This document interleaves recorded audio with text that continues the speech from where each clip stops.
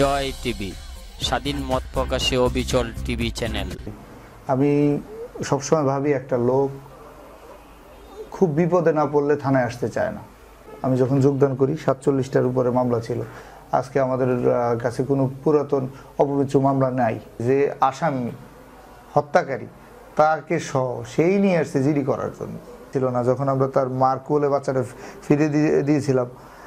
এই যে তার মায়ের যে একটা কান্না এটা আমার আসলে আমার চাকরি জীবনে স্মরণীয় হয়ে থাকবে। এটা হারিয়ে যায় হচ্ছে জুরাইন এলাকা থেকে। পরবর্তীতে আমরা বাচ্চাটা মানিকগঞ্জের ঘিওর থেকে ওইখান থেকে উদ্ধার করে নিয়ে আসি। সুপ্রিয় দর্শক, ডিএমপির মাসিক অপরাধ পর্যালোচনা সভায় নভেম্বর দুই হাজার একুশ ডিএমপি কদমতলী থানার বাবু সজীব কুমার দে শ্রেষ্ঠ পুলিশ পরিদর্শক তদন্ত পুরস্কারে ভূষিত হয়েছেন। সেই সাথে তিনি শ্রেষ্ঠ মাদকদ্রব্য উদ্ধারকারী অফিসার হিসাবেও পুরস্কৃত হয়েছেন। এই সম্পর্কে তার কাছে তার অনুভূতি জানতে চাইব। ধন্যবাদ সুপ্রিয় রেদন ভাই। আমার কিছু আমার অনুভূতির কথা ব্যক্ত করার সুযোগ দেওয়ার জন্য। আসলে পুরস্কার মানুষকে কর্মস্পৃহা বাড়িয়ে দেয়। প্রতিটা পুরস্কার আরেকটা ভালো কাজ করার পথ তৈরি করে দেয়। এই গত নভেম্বর দুই হাজার এগারো ডিএমপির মাসিক অপরাধ সভায় আমাকে ডিএমপির পুলিশ শ্রেষ্ঠ পুলিশ পরিদর্শক তদন্ত নির্বাচিত করায়। আমি টিম ডিএমপির ঊর্ধ্বতন সকল অফিসারকে কৃতজ্ঞতা জ্ঞাপন করতেছি। একই সাথে আমি কৃতজ্ঞতা জ্ঞাপন করতেছি আমাদের ওয়ারি ডিভিশনের সুযোগ্য উপ পুলিশ কমিশনার স্যারকে, আমার এডিসি স্যারকে, আমার সম্মানিত এসি স্যারকে, আমার কদমতলী থানার সুযোগ্য ভারপ্রাপ্ত কর্মকর্তা জনক প্রণয় কুমার শাহ স্যারকে এবং আমার কদমতলী থানার সকল স্তরের আমার সহকর্মীদের, যাদের সারা মাসের কঠোর পরিশ্রমের ফলে আমরা এই পুরস্কারটা পেতে পেরেছি। আমি ধন্যবাদ জানাই তাদের সবাইকে। আসলে আমি অনেক আবেগ আপ্লুত হয়ে পড়েছি আপনার এই কথায়। আসলে আপনার এই কথা আমার আমার কাজের এবং আমার দায়িত্ববোধ অনেক বাড়িয়ে দিয়েছে।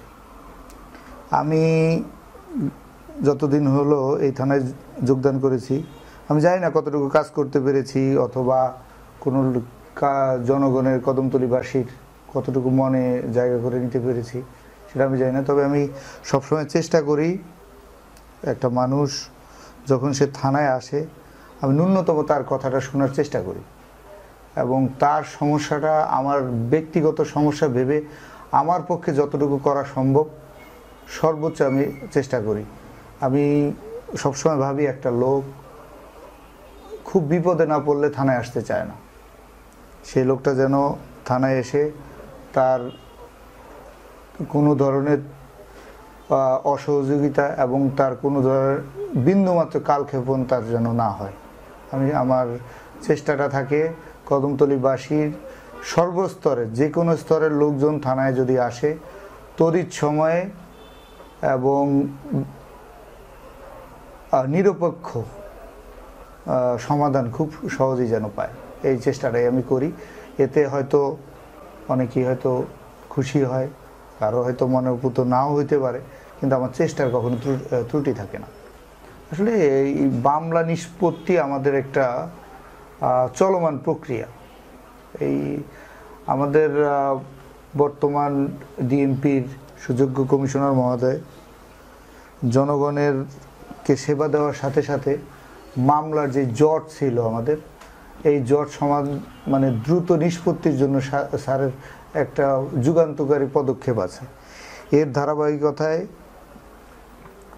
আমি যখন থেকে যোগদান করেছি, আমি স্যারের অফিসে কাজ করার যে অভিজ্ঞতা ছিল, তো তাতে আমি চেষ্টা করেছি যে মামলা, যে মামলাগুলি খুব দ্রুত নিষ্পত্তি করা যায় এবং নিষ্পত্তির ফলে যারা এই মামলার বাদী যারা অভিযোগকারী, তারা যেন মামলার আদালতের মাধ্যমে ন্যায় বিচার পায়। এটার জন্য আমার চেষ্টা ছিল অফিসারদের সাথে মামলার অন্যান্য তদন্ত কার্যক্রম দ্রুত সময়ের মধ্যে সমাধান করে মামলাগুলি বিজ্ঞ আদালতে প্রেরণ করার। এটার ঐকান্তিক প্রচেষ্টায় আমাদের এই কদমতলী থানার সাব ইন্সপেক্টর সবাই আমার ডাকে সাড়া দিয়ে তারা অনেক পরিশ্রম করছে। আসলে এটা আমার নিজের একার কোনো ফলাফল না।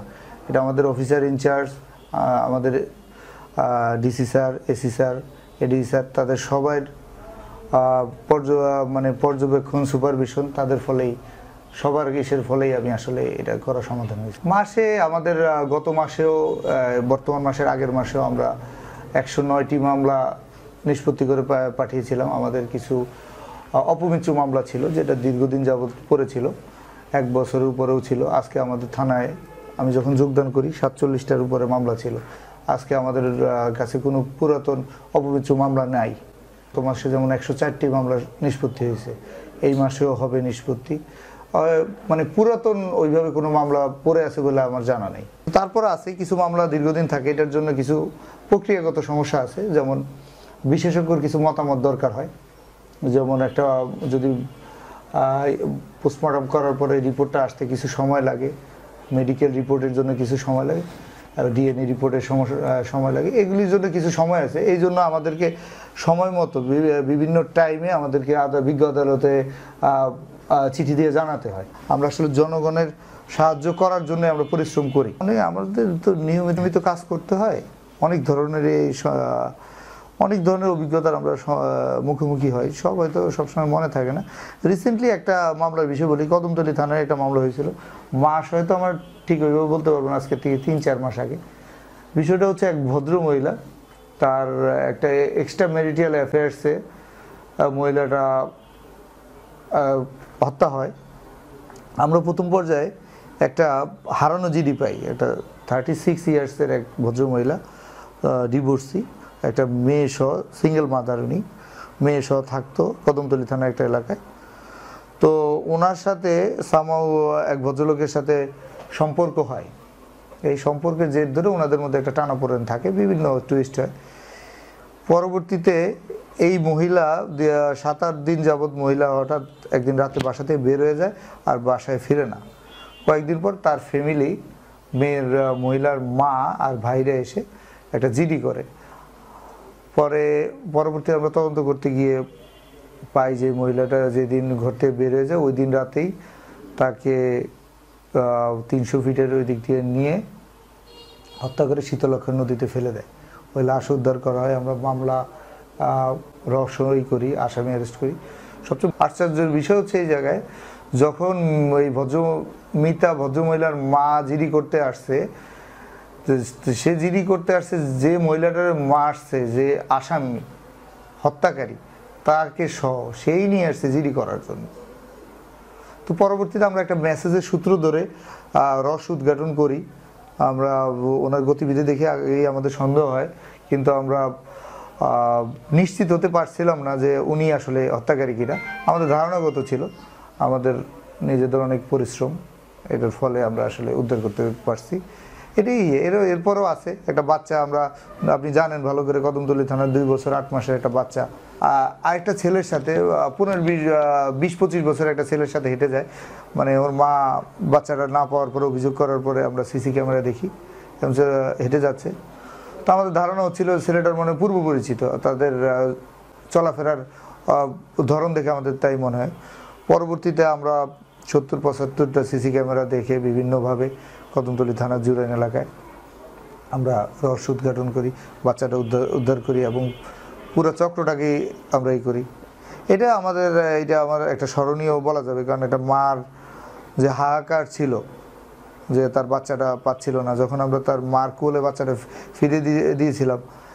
এই যে তার মায়ের যে একটা কান্না এটা আমার আসলে আমার চাকরি জীবনে স্মরণীয় হয়ে থাকবে এটা কোথা থেকে উদ্ধার করছিলেন বাচ্চা আমরা বাচ্চাটা হারিয়ে যায় হচ্ছে জুরাইন এলাকা থেকে। পরবর্তীতে আমরা বাচ্চাটা মানিকগঞ্জের ঘিওর থেকে বিভিন্ন পর্যায়ে করে ঘিওরে যায় ওইখান থেকে উদ্ধার করে নিয়ে আসি। ধন্যবাদ ভালো থাকবেন। জনতার প্রিয় মানুষ আপনি। আপনার জন্য অনেক অনেক দোয়া এবং শুভকামনা রইল। আমার জন্য এবং আমার পরিবারের জন্য দোয়া করবেন এবং কদমতলিবাসীর জন্য আমার এইটুকুই বলা। আমরা আপনাদের এলাকায় সাময়িক সময়ের জন্য চাকরি করতে এসেছি। হয়তো একটা সময় পরে চলে যাব। অত মনে রাখার মতো কিছুই হয়তো করতে পারব না। আমার চেষ্টা থাকবে আপনার একজনের জন্য যদি আমি একটু কাজে লাগতে পারি, এটাই আমার জীবনের সাফল্য। ধন্যবাদ সবাইকে। ধন্যবাদ কদমতলিবাসী